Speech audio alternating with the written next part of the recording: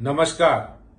आज माननीय Delhi high court ने दिल्ली सरकार के भ्रष्ट मंत्री और दिल्ली के मुख्यमंत्री के खास सिपह के बारे में टिप्पणी की है, जो सत्येंद्र जैन हज़ारों करोड़ों रुपए के मनी लॉन्ड्रिंग घोटाले के अंदर जेल में बंद है।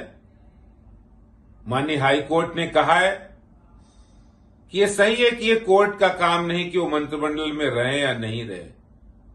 लेकिन कोर्ट ने कहा है कि ये, ये तय करना है दिल्ली के मुख्यमंत्री को कि एक क्रिमिनल बैकग्राउंड का मंत्री एक भ्रष्ट मंत्री वो उनकी सरकार में रहे या नहीं रहे।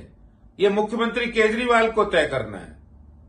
ये वही केजरीवाल जी जो अपने को कहते हमारी, हम सबसे कट्टर ईमानदार हैं।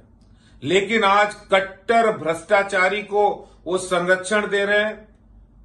कट्टर भ्रष्टाचारी को कोर्ट के आदेश के बाद, जेल में बंद होने के बावजूद, हज़ारों करोड़ रुपए मनी लॉन्ड्रिंग ज़मीन के घोटाले, हवाला कारोबारियों के संबंध के घोटालों में वो जेल में बंद है। फिर भी वो मंत्री है। ये कौन सी कट्टर ईमानदारी है, केजरीवाल जी?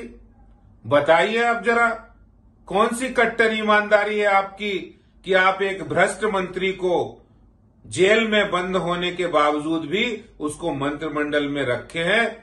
इससे ज़्यादा लोकतंत्र के लिए इस देश के अंदर शर्मनाक बात नहीं हो सकती है।